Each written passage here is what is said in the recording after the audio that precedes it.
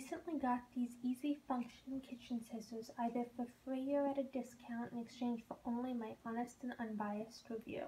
All opinions and views are strictly my own and not influenced by this fact. One of the things I really liked is that they came inside this little bubble wrapped bag, which was really kind of a lifesaver for me because the tip of the scissors were pointed outwards, and had they not been in bubble wrap, I probably would have ended up bleeding a little bit. That aside, I've been very happy with them so far. They cut very well. I've used them for just ordinary stuff like opening uh, frozen dinner and then other things like using them to cut pizza. They worked perfect for both and I really liked it for cutting pizza as it cut straight through it and it worked even better than a pizza cutter because I didn't have to go back and double do it.